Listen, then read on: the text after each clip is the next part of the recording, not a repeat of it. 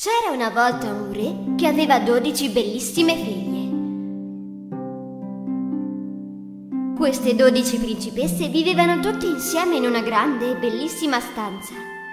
Il re proteggeva le sue figlie con tutto il cuore e quando loro andavano a letto la notte non permetteva loro di uscire.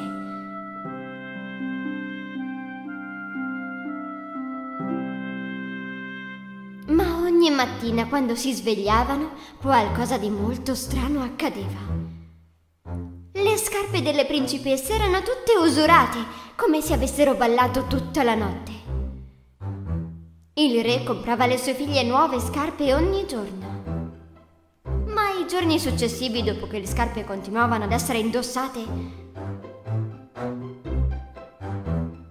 né il re né gli uomini del castello riuscivano a risolvere il mistero delle scarpe. Ma come è possibile? Come può un paio di scarpe venire consumato così in una sola notte? Altezza, non riusciamo proprio a capirlo. Infine il re disse: Chi risolverà il mistero delle scarpe delle mie figlie potrà sposare una di loro, diventare mio genero e futuro re quando io non ci sarò più ma ha solo tre giorni e tre notti per risolverlo, altrimenti passerà la sua vita in prigione. Molti giovani nel regno e anche principi di altri regni vennero al castello per il lavoro. Per giorni guardarono la porta della camera da letto delle dodici principesse, ma dopo qualche tempo nessuno di loro riuscì a risolvere il mistero e le scarpe continuavano ad essere indossate ogni notte.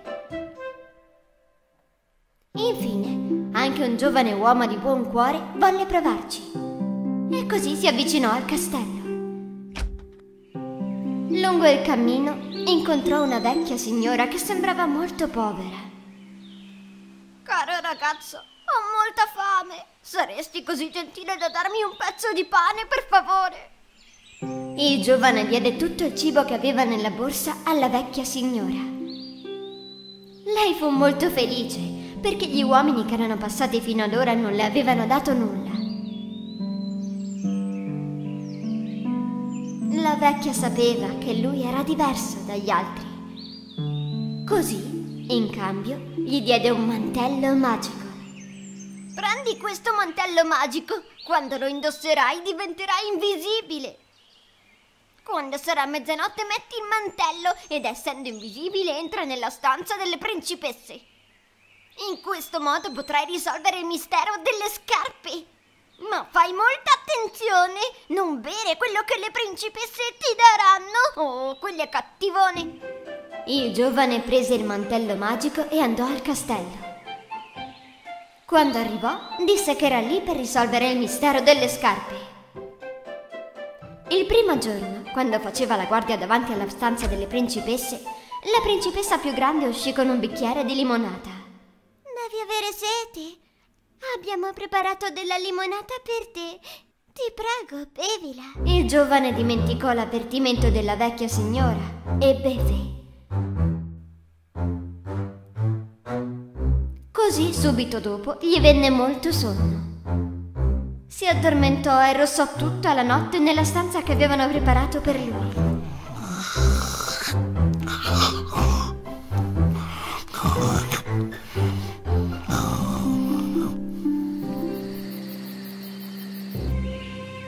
Quando fu mattina, il giovane si alzò nel panico.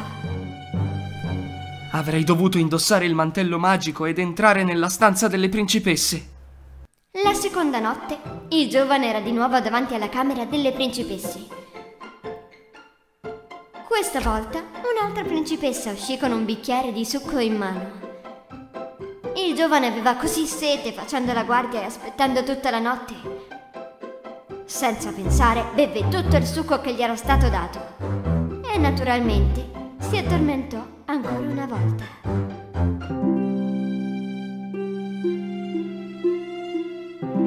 La mattina successiva, quando si svegliò, ricordò finalmente le parole della vecchia. Ma fai molta attenzione!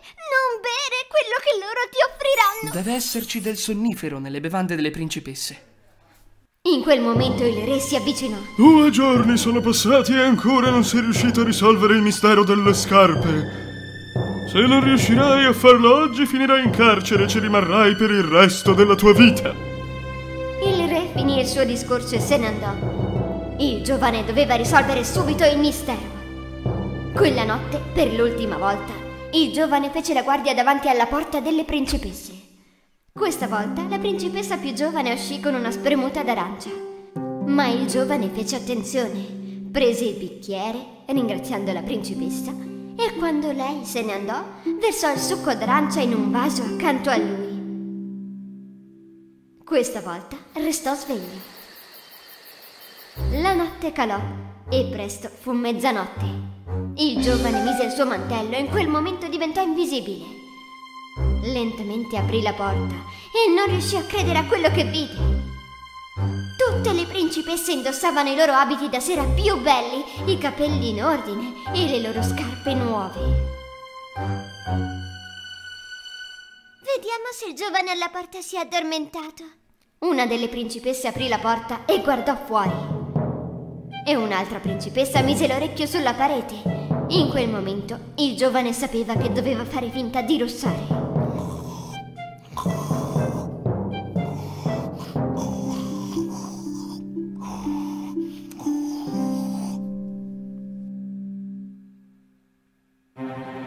che furono sicure che il giovane dormisse, la principessa più vecchia spinse il suo letto da una parte e batté le mani tre volte. Un passaggio segreto si aprì al posto del letto. Il giovane non poteva credere ai suoi occhi. Una ad una tutte le principesse entrarono. Naturalmente il giovane le seguì. Il passaggio segreto si apriva su una scala che aveva centinaia di gradini. Mentre stavano scendendo le scale, ad un certo punto il giovane accidentalmente si avvicinò alla gonna di una delle principesse. Ah, qualcuno ha calpestato la mia gonna! Oh, sciocchezze, probabilmente sei stata tu. Quando le scale furono finite, entrarono in una foresta. C'erano alberi altissimi con splendidi rami d'argento. Il giovane prese un rametto e seguì le principesse. Dopo un'altra lunga passeggiata, si fermarono sul bordo di un fiume. Nel fiume c'erano 12 barche a forma di cigno e sopra c'erano 12 principi in attesa delle principesse. Andarono sulle barche e il giovane salì per ultimo.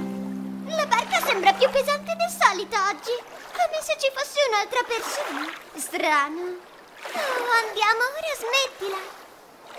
Quando attraversarono il fiume, arrivarono ad un grande e scintillante castello. E riuscivano già a sentire la musica provenire da dentro. Quando guardò attraverso la finestra, il giovane vide molte persone che ballavano.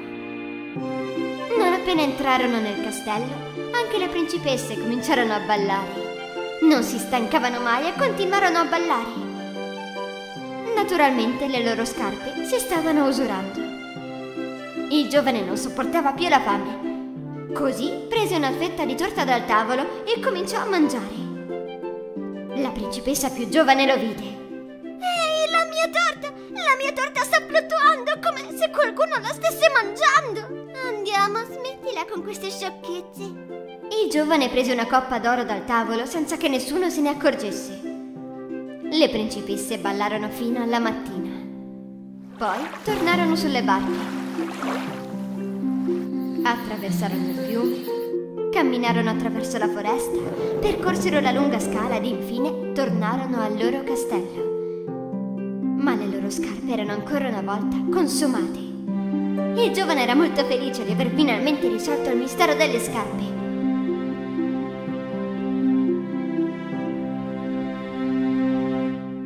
Poco più tardi il re andò dal giovane. Il tuo tempo è scaduto. Hai risolto il mistero delle scarpe? Sì, Vostra Altezza, l'ho risolto. e gli raccontò tutto. In un primo momento il re non gli credette, ma quando il giovane gli mostrò il ramo d'argento della foresta e la coppa d'oro dal castello luccicante, il re seppe che stava dicendo la verità.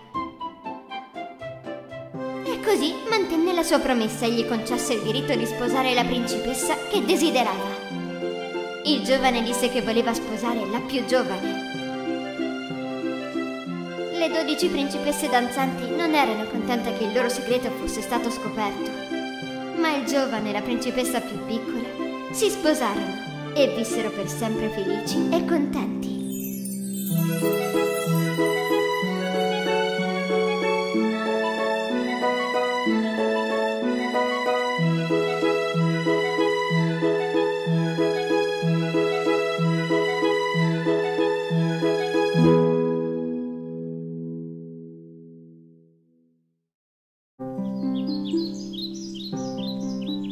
C'era una volta, in una terra lontana, un principe. Era giunto il momento per il principe di trovare moglie, ma sfortunatamente non aveva ancora trovato la sua principessa. Per poterla trovare, infatti, il principe aveva viaggiato in tutto il mondo. Tutte le principesse dei regni vicini avevano visitato il castello per incontrare il principe.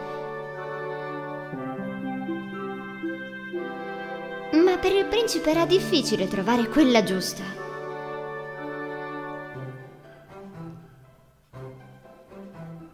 Suo padre, il re, voleva che sposasse una vera principessa. Dopo aver tentato per così tanti anni, aveva quasi perso le speranze. Triste e molto pensieroso, il principe continuava a vivere la sua vita. Il re e la regina invece erano molto preoccupati per la sua situazione. Un'altra triste notte, mentre stava seduto a pensare, cominciò una grande tempesta. Pioveva abbondantemente, c'erano lampi e saette e il suono dei tuoni echeggiava nel castello. Il principe non riusciva a dormire e guardava i fulmini fuori dalla finestra. D'altro canto, non riusciva a fare a meno di pensare alla sua futura principessa. Nonostante il frastuono nel castello, una dei servitori sentì che stavano bussando alla porta. Aprì la porta e notò una giovane ragazza tremante, tutta zuppa di pioggia.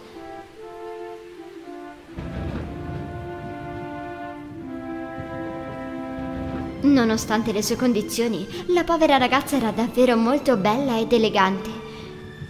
Con grande difficoltà parlò. Mi lascereste entrare, per favore? Sono sola e mi sono persa nella foresta. La serva era dispiaciuta per lei, così corse a dare la notizia al re e alla regina. Non possiamo rifiutare di accogliere un visitatore a quest'ora di notte. Fatela entrare. Il re informò subito le guardie della situazione e gli diede degli ordini. Le guardie fecero entrare la ragazza nella sala del castello e la fecero sistemare davanti al caminetto. Vedendo i vestiti della ragazza zuppi di acqua, la regina ordinò ai servi di portare dei vestiti appropriati per la ragazza. Quando furono da sole, la regina le chiese a quest'ora e con questo tempo? Mi domando davvero che cosa tu stia cercando. Sono la principessa di una terra lontana. Il mio castello è stato attaccato dai miei nemici. Per proteggermi, mia madre e mio padre mi hanno segretamente mandata via con due soldati. Ma a mezzanotte, a causa della tempesta, ci siamo persi. Ed eccomi qui, ho trovato il vostro castello. Grazie mille per avermi accolta. La regina faceva fatica a crederle ma allo stesso modo trovava ancora più difficile mandarla via dal castello.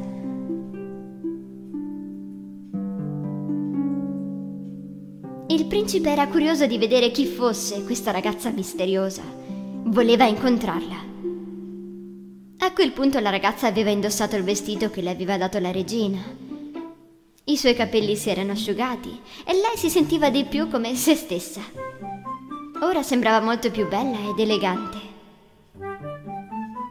Quando il principe entrò nella stanza, non riusciva a credere a tanta bellezza ed eleganza e fu ammaliato dalla sua presenza. Ma voleva essere davvero sicuro che fosse una vera principessa. La regina disse al re che avrebbe risolto la situazione e avrebbe scoperto se era una vera principessa. Se è davvero una principessa, lo scopriremo questa notte. Il principe e la principessa chiacchierarono per tutta la notte. Il principe, che era così affascinato da lei, voleva conoscerla meglio.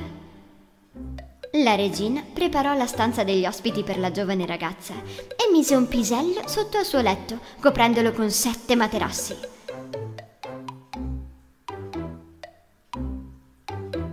La giovane donna dormì nello strano letto che era stato preparato per lei quella notte.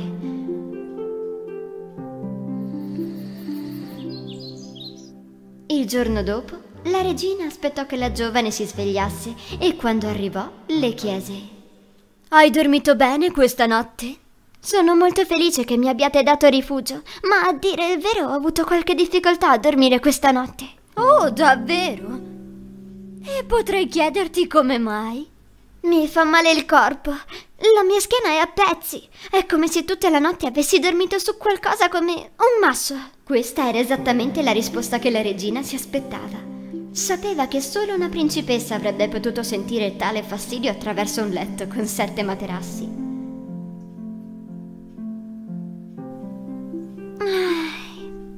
Andò dal principe e gli raccontò tutto quello che era successo.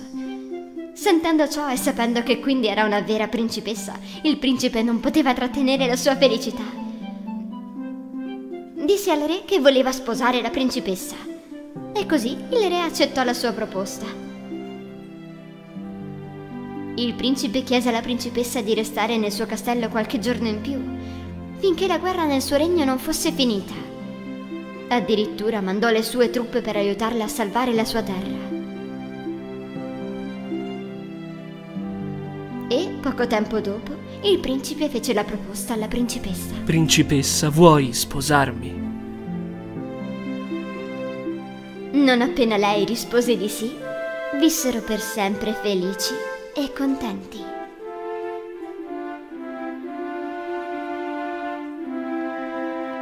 Quella notte il principe fece mettere il pisello in una scatola di vetro e lo espose nell'angolo più bello del castello.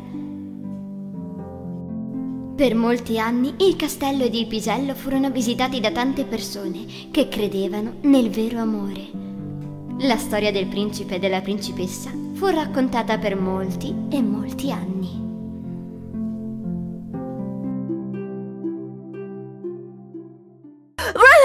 The movie's going this way. What are we gonna do? Open the door and let me in. Wish for anything you want. I wish to go home. Whoever solves the mystery of my daughter's shoes will get to marry whichever daughter of mine he chooses. With the donkey's signal, they all started to sing.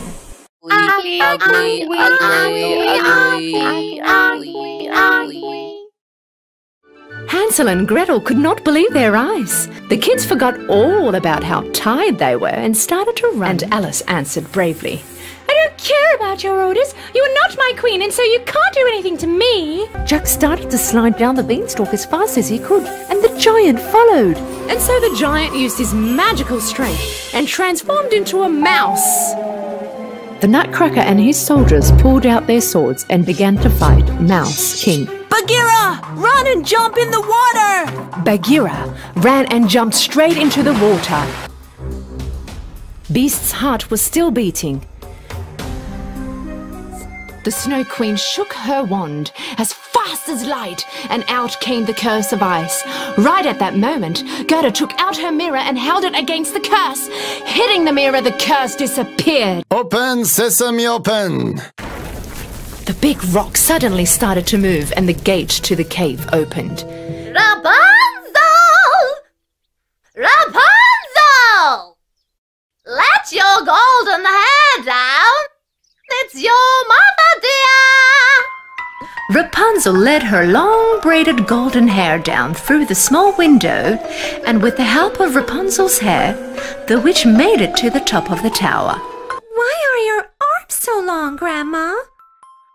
So that I can hug you better. Why are your teeth so sharp, Grandmother? So that I can eat you better. We have to help them. Mermaid dove in the water right after the ship. You too will go to the ball at the palace. Really? But how? Now it's your turn. I look like a princess. The most beautiful princess will grow surrounded with happiness, love, and admiration. But on her 16th birthday, just before sunset, she will poke herself with a needle and she will be gone forever. This was a little match girl. But she could not even sell one box of matches that day. Matches! Matches! Anyone wants matches? What is it now?